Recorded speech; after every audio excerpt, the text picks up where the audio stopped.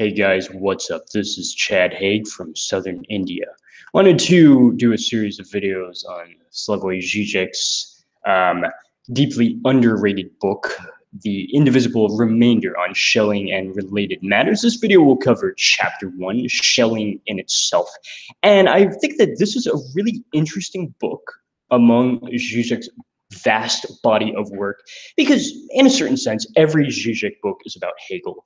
Every Zizek book is about psychoanalysis. But it's very rare for Zizek to devote an entire book to a thinker other than like those those two concerns. And this is a whole book on Schelling which gives a very valuable glimpse into how Zizek is um, sort of latching onto German idealism in a context in the late 80s and during the 1990s, when the academic fad was largely deconstruction, post structuralism, and Foucault. And his decision to latch onto German idealism, obviously, you gain you get a lot from reading his many meditations on Hegel. And yet, this book will present some very um, interesting thoughts he has on like Schelling and Fichte, and of course Hegel as well. So definitely recommend the Indivisible Remainder. I think one of the uh, less read books within his body of work, certainly less read than say Sublime Object of Ideology or ticklish subject, but a really good book. So once again, this is his 1996 book on Schelling. It's one of actually the most difficult books that he has written. There's a there's a very dense level of analysis that he has, especially within the first chapters I'll be covering in this video, and his understanding of uh, German idealisms, um, the way that it's usually approached is something that he's largely going to reverse in this analysis, and that he begins by reversing the standard, you know, radical political question, which is how to undermine the established order, by instead asking, how does an order emerge out of disorder in the first place? And further, what inconsistencies allow order to maintain itself anyway? And this is precisely the question that interested Schelling. Of course, speaking about Schelling and politics, will inevitably sound kind of controversial because one would normally think that a philosophy of the absolute, which is what German idealism is, will necessarily lead to totalitarian politics. In fact, Judith Butler recounts when she was like 12 years old, she she would ask her teachers, like, did German idealism cause fascism? This is something on her mind, thinking about, you know, a, a philosophy of the absolute obviously has only that political route. But Schelling actually showed that contact with the absolute will provide the individual with the ability to resist a state power, which, if you follow Schelling's system, will actually be revealed to be relativized into contingency. Therefore, the standard formula to understand Hegel is something of an absolute idealist pan-logism, um, obviously coming from the Greek words pan for all and lo logos for like reason, a full idealist rationalization is how Hegel might be understood. And of course, Schelling's standard formula is to instead focus on a gap, okay? And to be the first philosopher to really think about finitude, even you know, before Heidegger took that theme up, um, is has to be understood within the context that for Schelling, there is this type of mediation or idealization, but there's a Grund in the background, which is never fully mediated or sublated. Therefore, in chapter one, which will be the subject of this video, Schelling in itself, the orgasm of forces, um, he'll, uh, he'll show that German idealism is often thought of as the problem of a beginning. And obviously a work like Phenomenology of Spirit by Hegel, it deals with um, at the beginning, you know, sense, uh, sense certainty being a beginning of sorts with regard to thinking of the forms of consciousness. And um, certainly Schelling is interested in the problem of a beginning as well. But he's interested in actually going back to before the beginning. And what Schelling claims you'll find if you go back to before the beginning is that you'll find the rotary motion of the drives. This is a little bit like Freud, actually. And he says that this is uh, the drives have a vicious cycle that is only broken by some primordial act of decision.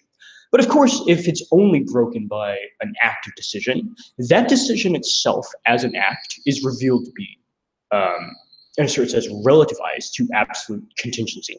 So before the world, you get the chaotic psychic universe of blind drives. The beginning is therefore an act of repression that casts these drives back into the eternal past.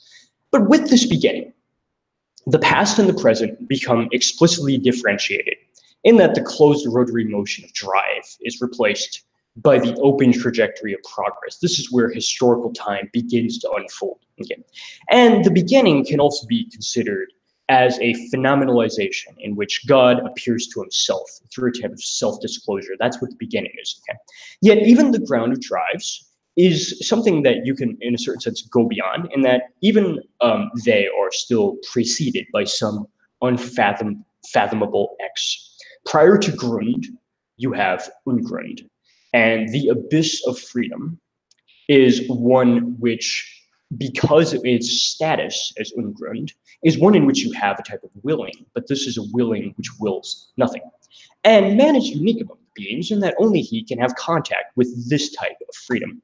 Therefore, Schelling is going to actually differ from even another German idealist figure like um, Fichte, in that um, because man alone has contact with this abyss, man actually um, has in himself a principle from before the beginning of times. In other words, we have co-knowledge of creation. This is the identity between human freedom and the primordial abyss. So he's actually going to differ from Fichte in that he, Schelling will speak of a self-positing act by which man creates himself. But this is not as the conscious I of Fichte, but rather as like the unconscious, more similar to Freud.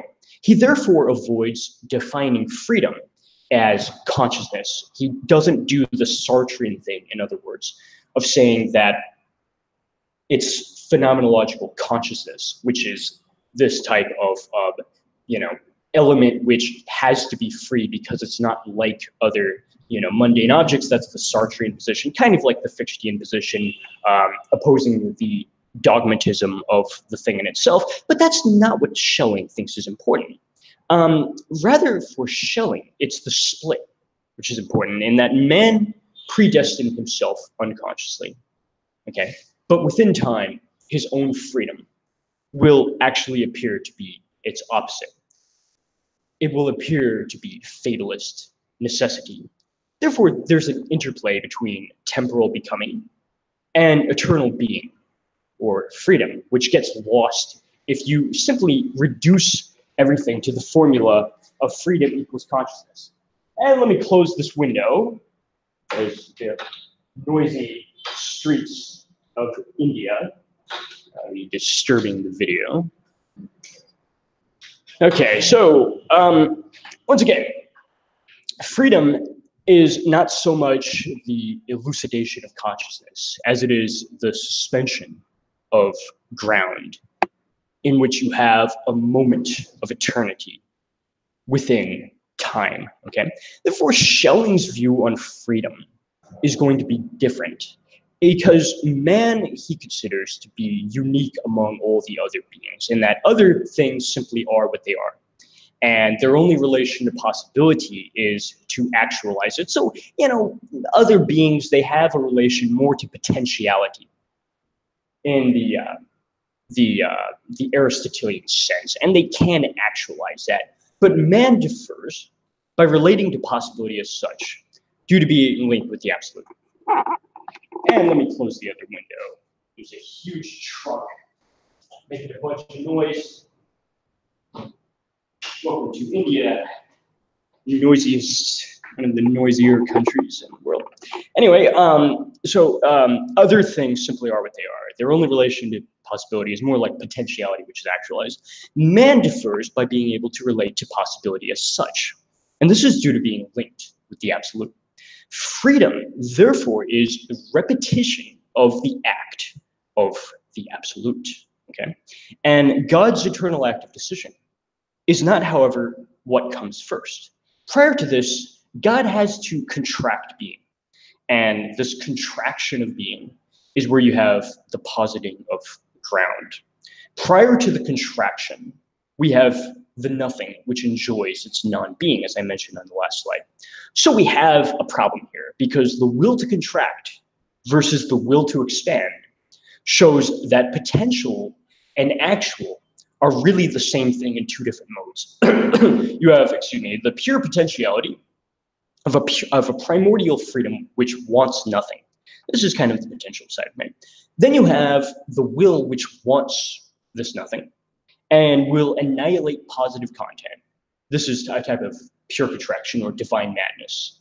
Okay, um, where you have instead of wanting something, right? So yet God actually suffers from anxiety in that he can neither withdraw into closure nor open up to alterity. So there's something of a deadlock here, uh, which is uh, going to be very important for any discussion, of course, the concept of freedom. So this antagonism is not accidental and it's not occasional. All reality actually has it. We only experience what looks like smooth reality because a balance between the two is maintained. It's kind of like a film, which is neither too fast nor too slow. If it's too fast or too slow, it'll lose its reality effect. It will no longer look like something that um, has the character of uh, of the flow of reality. It'll it'll be revealed to be the artificial film that it is. It's kind of like that. so. Likewise, eternity does not fall into time. Time is the result of an ascent to break the vicious cycle of the rotary drive's pulsation in order to begin the linear temporal succession. Okay, and therefore, um, what is really unconscious is the act by which the drives were combined into the unity of a self. This is the act when I chose myself. And the passage from pure freedom to a subject who is free is a big deal that we'll return to in greater detail later. Okay, so um, the interesting thing here is that Jung's theory of projecting the shadow actually kind of misses the point that there is only a me insofar as the object is posited. It's not that you have a you and then because of something you won't acknowledge that you really hate about yourself, then you cast, you, you project the shadow and explicitly posit the object, which is Jung's theory basically. Rather for Schelling, um, God distantiates from himself the ground of his existence, which, which is ejected away as the primordial contraction. But of course, there's only a me insofar as you have the object as posited that way.